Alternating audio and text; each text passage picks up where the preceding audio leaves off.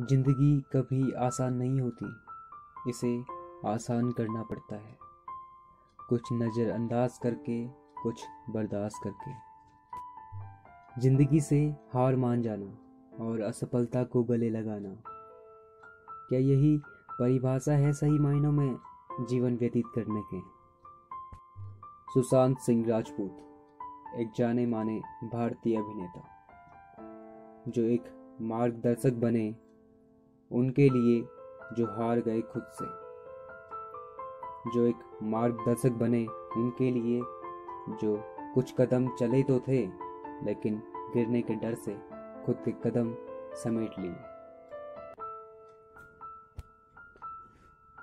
जीवन जीने के सही मायने क्या हैं, जिन्होंने यह सीख दी?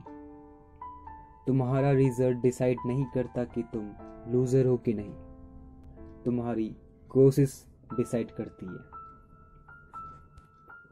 आज वही चमकता सितारा लोगों के दिल में छाप छोड़कर भगवान के पास चला गया।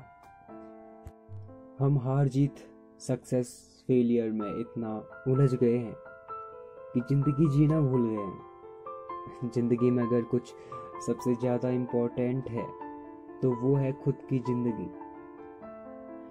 खुद से हारे हुए व्यक्ति के अंधेरे जीवन में एक दीपक की भांति प्रज्वलित हुए थे प्रशांत। लेकिन आज उसी अंधेरे में स्वयं ही गायब हो गए।